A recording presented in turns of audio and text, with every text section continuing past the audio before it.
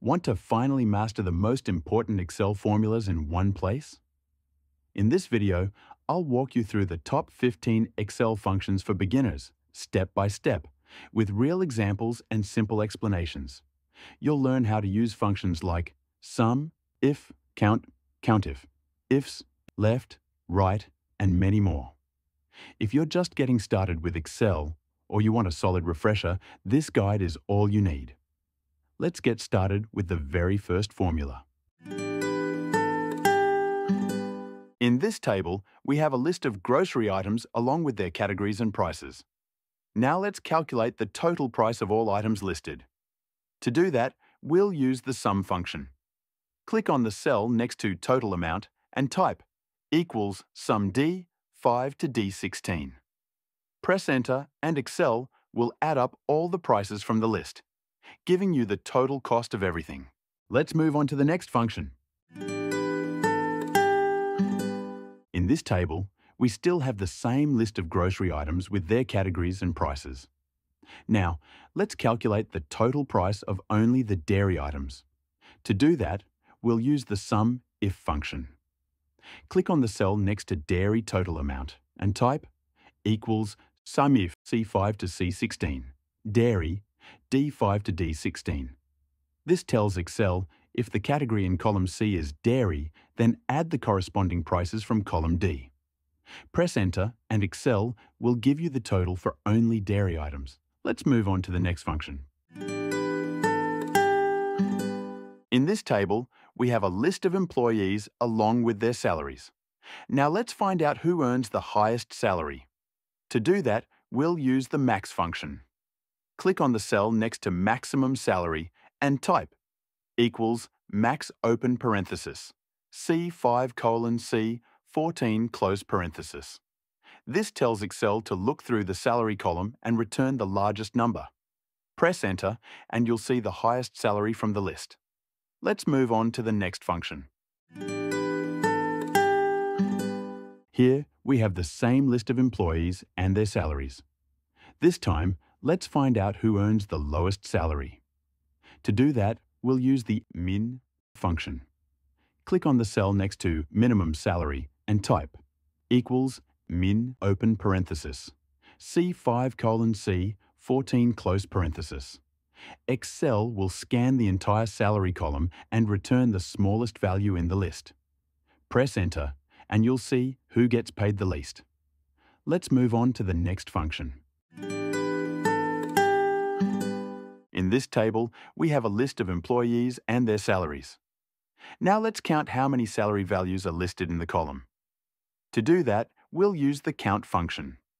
Click on the cell next to count and type equals count open parenthesis C5 colon C 14 close parenthesis. This formula will count how many numeric values are in the salary column, ignoring any empty cells or text. Press Enter and you'll see how many salary entries are there. Let's move on to the next function.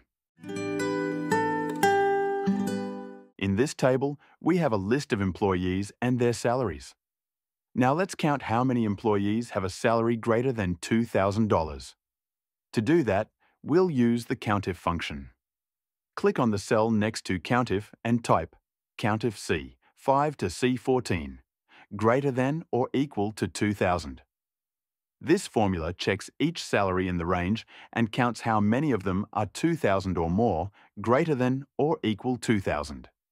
Press Enter and Excel will return the number of employees earning equals or more than $2,000. Let's move on to the next function. In this table, we have monthly income values listed for the entire year. Now, let's calculate the average income per month. To do that, we'll use the average function.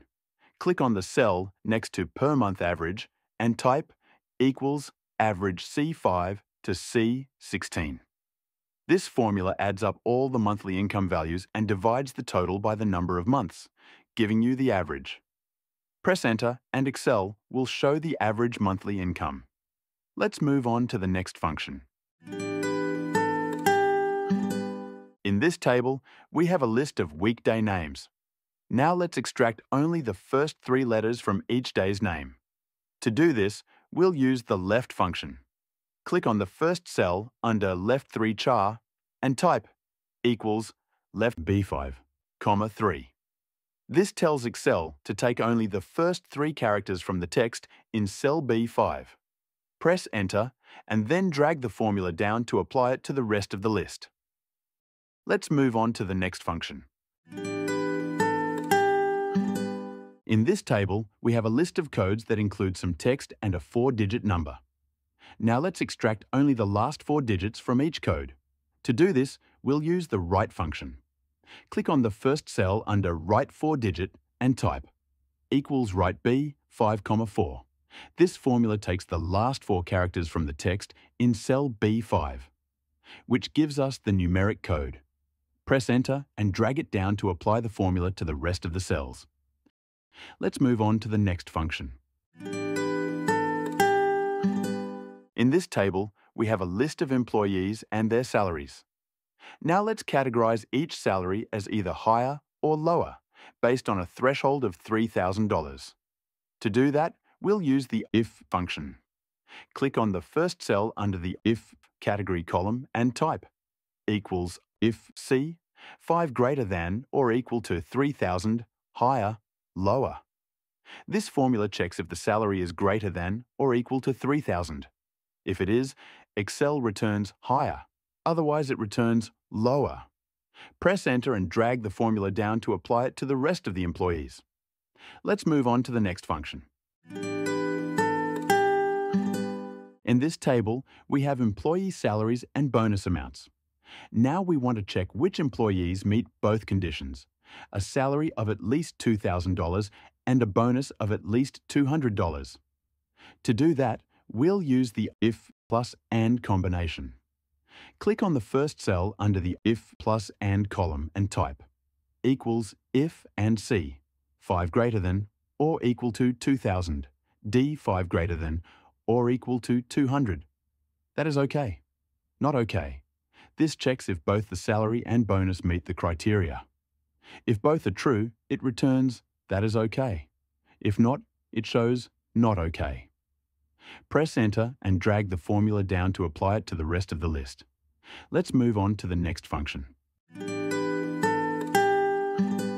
In this table, we have employee sales and the number of complaints they received. We want to label each employee as successful if they meet at least one of two conditions. Either their monthly sales are $10,000 or more, or they have zero complaints. To do that, we'll use the if plus or combination. Click on the first cell under if plus or and type equals if or C, 5 greater than or equal to 10,000. Comma D 5 equals 0. Successful, not successful. This formula checks if either of the two conditions is true. If one or both are true, it returns successful. Otherwise, it shows not successful. Press Enter and drag the formula down to apply it to the full list. Let's move on to the next function. In this table, we have employee names and their monthly sales figures. Now let's check which employees reached at least $10,000 in sales and label them accordingly. To do this, we'll use the IFS function. Click on the first cell under the IFS column and type equals IFS. Open parenthesis, C5 greater than or equal to 10,000 comma. OK comma, C5 less than 10,000 comma, not OK. Close parenthesis. This formula checks multiple conditions in sequence. If the sales are greater than or equal to $10,000, it returns OK. If not, it returns not OK. Press Enter and drag the formula down to apply it to the rest of the list. Let's move on to the next function. In this table, we have a list of grocery items along with their price and quantity. Now let's calculate the total cost for each item based on how many units were bought. To do that, we'll use the product function. Click on the first cell under cost per item and type equals product open parenthesis, C5, D5 close parenthesis. This formula multiplies the price by the quantity, giving you the total cost for that item.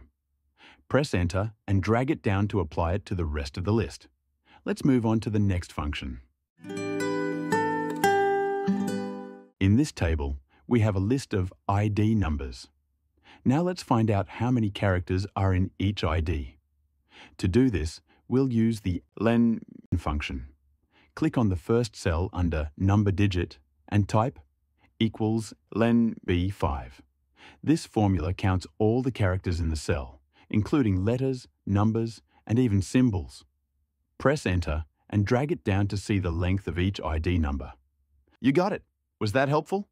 In the next video, we'll dive into even more powerful Excel tricks. Make sure to hit that subscribe button and give this video a thumbs up. See you soon.